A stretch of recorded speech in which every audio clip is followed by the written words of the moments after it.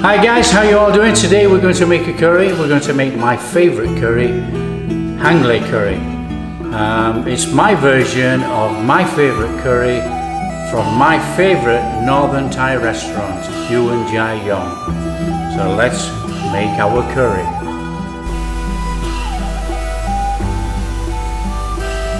Right, first guys what we're going to do, I'll get some ginger uh, we need to peel it, peel the skin off the ginger. Now you can use a peeler, um, but you'll find it is actually quite hard to actually peel the ginger. And a, a tip is to use a spoon, and it is very easy to take the skin off the ginger. Very easy indeed. So we need to peel the ginger, and then we're going to slice it, and we're going to julienne it. We want about a half to three quarters of a cup of thin matchstick uh, ginger to actually put in our curry.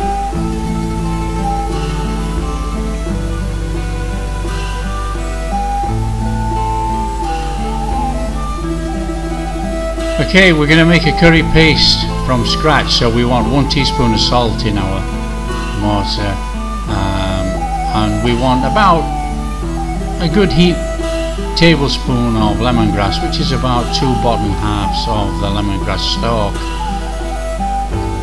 So what we want to do is actually slice it thinly, uh, which makes it easier for uh, grinding up with the pestle in our mortar when we make the paste.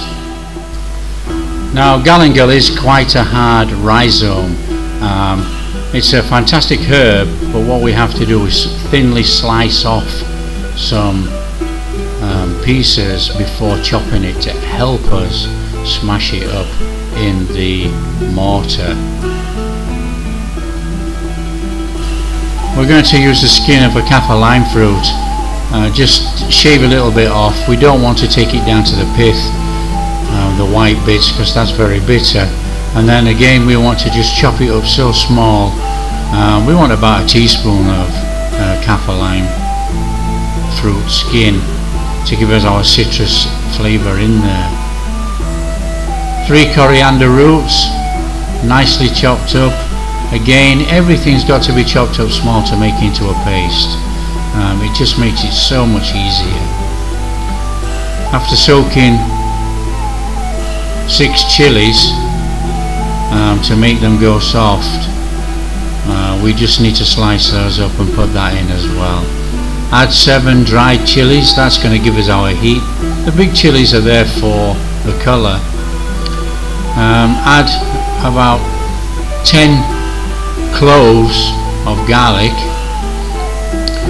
and just yeah give everything a mashing you know but to make this paste you could actually make this paste in a blender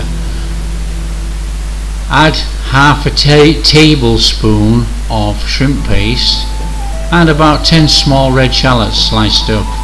Again we're slicing everything just to make it easier to grind up. That's it guys. That's our paste finished. Now on with the pork. Now with our pork, I'm using one and a half kilos of um, belly pork. And we need to slice this into about good one inch thick pieces. Now the pork will shrink with cooking. We are going to cook this for about three hours so the pork will reduce whilst cooking.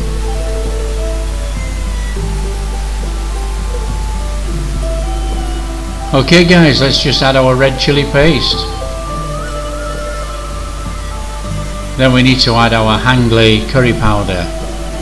Now if you don't have Hanglay curry powder, you can put in about one, two tablespoons of a good Madras curry powder and a teaspoon of garam masala. Add a good tablespoon of soy sauce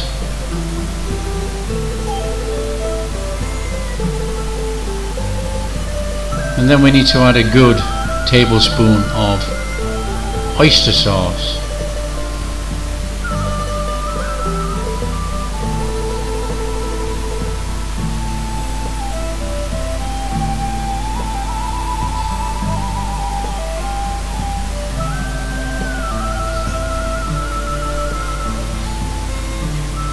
And then what we're going to do is add about half a tablespoon of black soy sauce.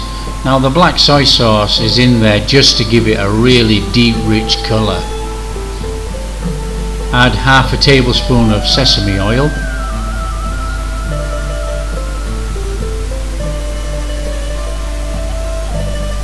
Now I'm adding a chicken stock cube but you can add chicken or a pork stock cube. And then we need to give it a good mix up make sure our meat is fully coated in our paste mixture. And we need to marinate for about two hours. So if we cover it in cling film and leave it to one side for two hours our meat should be marinated just perfectly meanwhile we need to prepare half a cup each of garlic and onions and dry roasted peanuts. We will be adding that to the curry towards the end.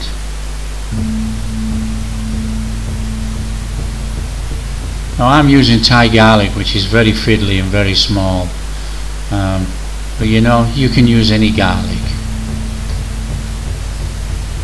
So we want about half a cup of each, half a cup of garlic, half a cup of red shallots.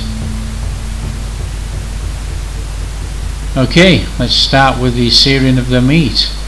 So, a couple of tablespoons of veg oil or palm oil in the pan on a medium heat or low to medium and then we need to add our meat.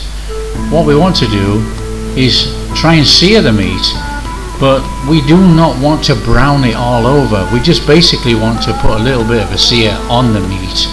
So all we're going to do is just cook it slowly and giving it a gentle stir occasionally just so it starts to sear and some of the fats start to break down. So the tip is low and slow so we need to close it up for about 20 minutes but we need to keep stirring it occasionally and the fats will actually start to break down out of the meat. This will start to form our juice in the bottom of the pan.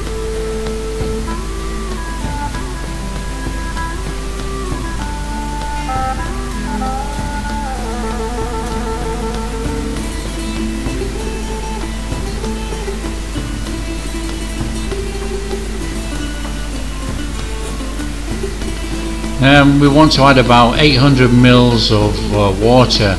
I'm using water actually. Um, I've cleaned out the bowl that the meat was in so we can put all the residual curry paste and bits in there and put it all in uh, in the pan. Then we need to cover it up and cook for about two hours but we do have to keep stirring occasionally because it will have a tendency to stick on the bottom of the pan and we do not want to burn the curry.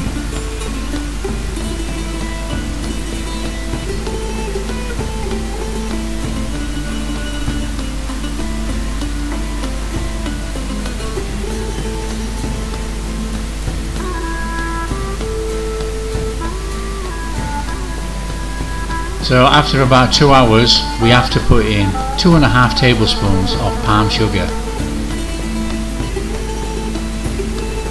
Obviously this is going to give us our sweetness in our curry.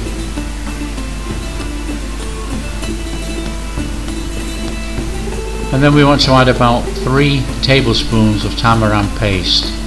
Uh, that's going to give our sourness.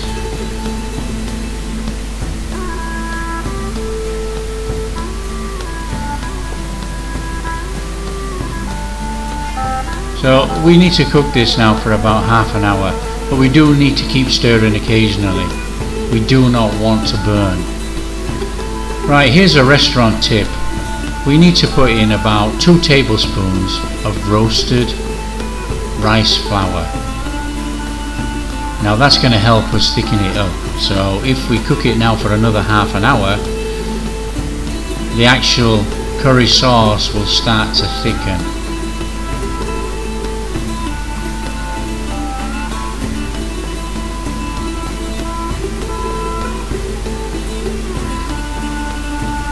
So we've cooked it for another hour. What we need to do now, we need to throw in our half a cup of peanuts, half a cup of onions, half a cup of garlic, half a cup or 3 quarters of a cup of sliced ginger.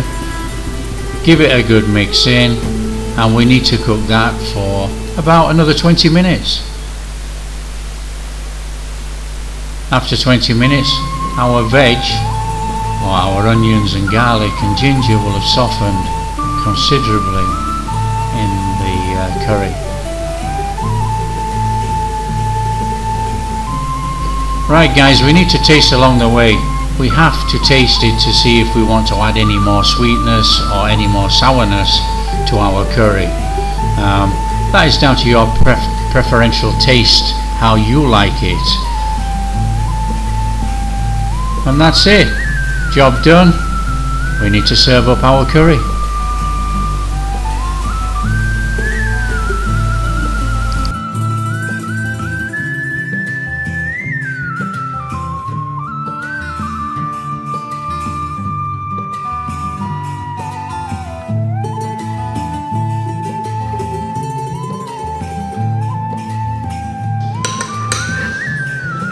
Well, there you are guys, look at that.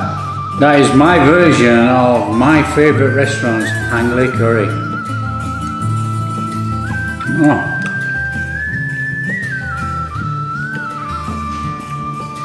The pork is so tender. And have you seen with this curry guys that we do not use coconut milk. This is one of the curries uh, in Thailand where coconut milk is not used. Hanglay curry originally came from Burma, um, but the Indian spices were brought across into Burma. And from Burma, the Burmese workers came into Thailand bringing their version of Hanglay curry. And Hanglay curry actually gets its name from the Hanglay curry powder. It's got more Indian spices, so it's more, or, more or less an Indian type curry being brought through Burma into Thailand. So I hope you've enjoyed this recipe guys, uh, and if you have, Give it a try at home. And if you like cooking real Thai food, like and subscribe, and we'll see you next time.